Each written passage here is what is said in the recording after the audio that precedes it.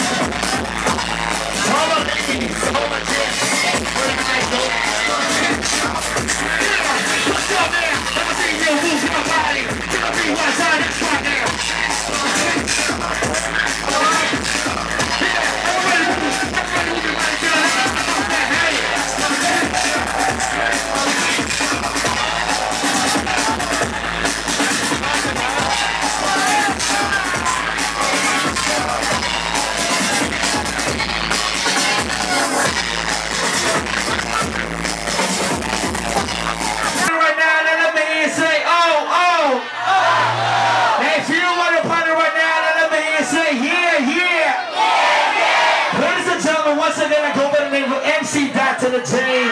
And right about now, we got one of the greatest DJs in the Philippines tonight.